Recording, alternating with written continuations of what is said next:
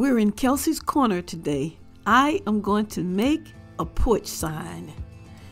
I like it when I drive around and you can see the signs next to the people's front doors. It looks so homey and they say welcome. I shopped around and what I saw was very expensive. So I just tried to see if I can make one just a little bit cheaper.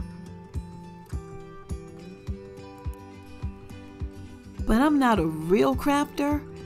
So I went to Home Depot and bought a white board and I didn't even have to paint it.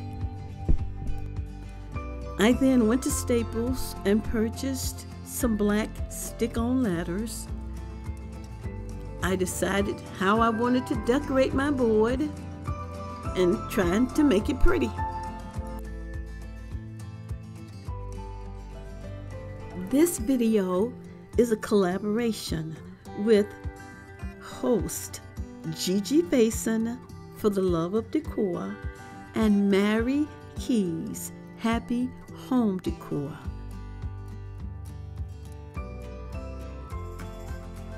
A list of the participants can be found down in my description box.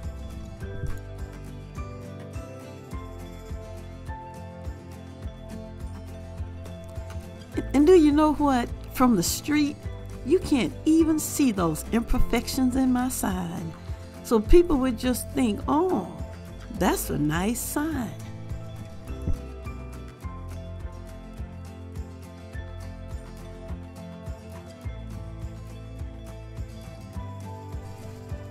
While I was at it, I decided to make a wreath to match my welcome sign. So I went to the Dollar Tree and purchased this wreath frame. And to Michael's, I bought the purple garland and I simply tied it around the wreath frame.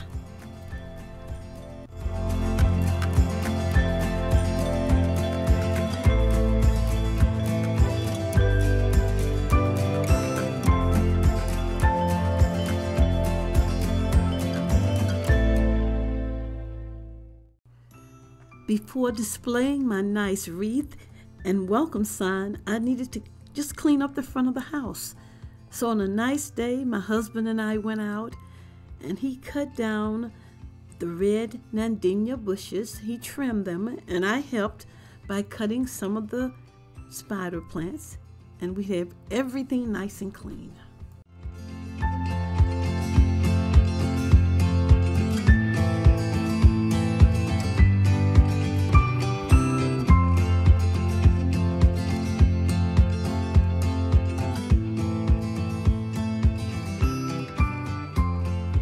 Welcome. This is Simple Southern Reflections.